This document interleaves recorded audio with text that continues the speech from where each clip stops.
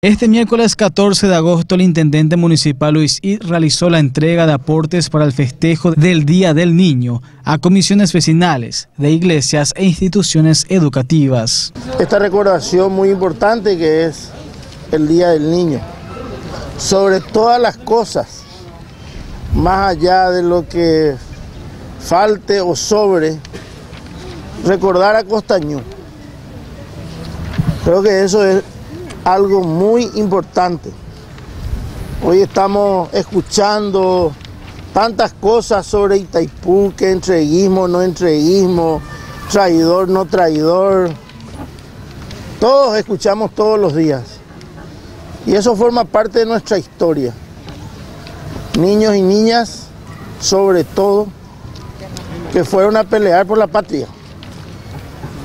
Que no somos ninguno de nosotros aquí presentes. ¿eh?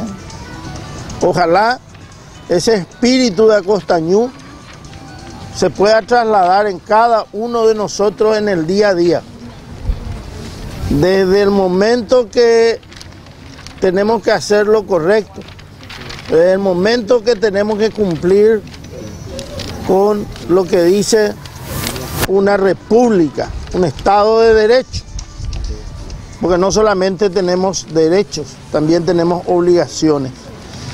En esos niños, creo que es importante que los niños de hoy sepan, y probablemente saben más que nosotros, probablemente saben más que nosotros.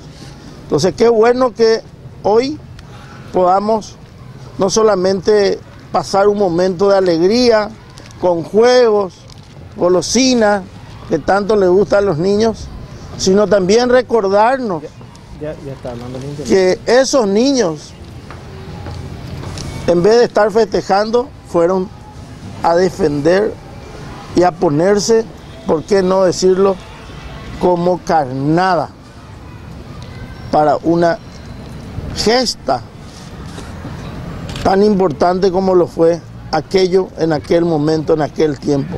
En la oportunidad, el intendente manifestó que el aporte tiene el objetivo principal de que cada niño y niña pasen un momento agradable y lleno de alegría en su día.